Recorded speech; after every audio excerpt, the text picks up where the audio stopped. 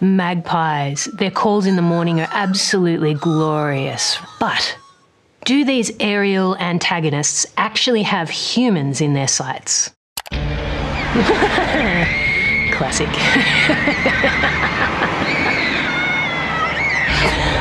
it's the screaming that makes this one. Oh, it's so persistent. I love it. Is that the dad filming? Yes, that's filming. That's the dad filming, and he's just laughing. Here he comes. the things you do for internet points, hey? You sacrifice your child.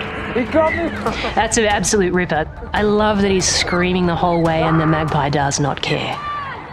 So, in magpies, it's almost always only the male that swoops, and of all of the male magpies, something like 6 to 12% of them swoop. They only do it for a certain time of the year, and that is nesting. So, in this case, the kiddo on the scooter has absolutely got it. He's only worried about this quick moving, bright t shirt wearing, screaming menace to society. I'm talking about the kid, not the magpie. Most of the serious injuries that occur in relation to magpies are actually the person's reaction to the magpie. What's really interesting is you can hear the magpie vocalizing in that, and that is the sound of a magpie who is a little bit angry and territorial, right? So it's saying, get away. And like many animals, the magpie actually gives you a warning before it swoops. So, if you learn to listen for that sound, you will hopefully never be surprised by a magpie swoop ever again. Ah! Is that a group of magpies having a meeting in the middle of the road? Yes, do we have a quorum, gentlemen? Yes, yes, yes. Oh, a sneaky! I was so busy looking at the birds, I did not see the snake. It's like they're giving it a security escort. And I suppose in a manner they are right, because if they keep their eyes on it, then the young ones in their group or whatever are not going to be endangered by the snake.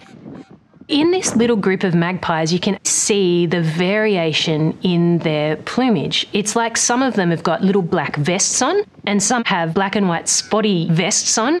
And that's because over their whole range, there's actually several subspecies of magpies. So when you actually see a magpie, taking notice of where the black bits are, where the white bits are, is going to tell you a lot of information about that individual.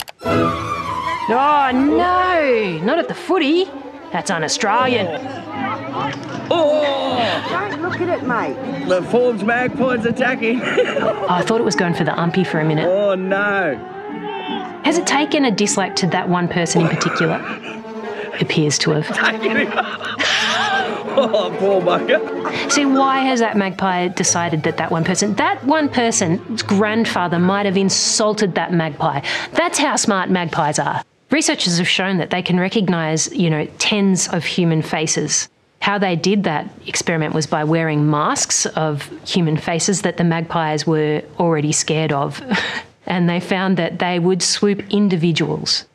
So, yeah, I don't know what that person did, but RIP their football career. Oh!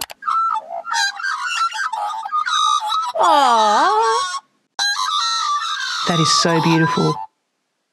I mean, it sounds really loud though, and, and magpie song can be really loud. They can make sounds up to like 70 decibels, which is sort of like a lawnmower. And I think it's important to note that they don't actually have pink butts. I think that's the reflection from the car. They actually have little pure white butts. Very cute. The scientific name for the Australian magpie is Cracticus tibicen. Tibicen actually means flautist, which is sort of beautiful. They've been known for their music ever since they've had a Western scientific name. They can mimic something like maybe 35 sounds per individual. Oh, hello. No. Play. Look at those tooties. They're so sweet. They're playing. So exploring their environment, exploring each other. There are heaps of ways to test intelligence, and one of the things to do is give them puzzles. So, researchers presented Australian magpies with a puzzle that had two transparent walls with some food in between, It was too deep down, so the magpie couldn't just use its beak to get in there and take the food out. And they actually found that some of these wild magpies would use a stick to get the food out. Now, this is tool use. This is something that we would associate, say, with primates, with ourselves. We use tools. It shows a level of critical thinking, of perhaps planning, of cognition that is unusual, really, in the bird world. It's the first time they'd actually found that in Australian magpies. They will be the next contestants on the block. Maybe we're never going to settle this. For some people, they're just mischievous singing maestros, and for others, they're absolutely deadly swoopy boys. But either way, you have to admit, magpies are extremely beautiful and intelligent. Thanks for watching through to the end. I actually have a podcast for the ABC called What the Duck. It's like I got on a hotline with all of the weirdest stuff that's out there in nature. I'm talking naked mole rats, I'm talking swizzle penises. If you can think about it, then I can put it on my podcast. So head over there and subscribe.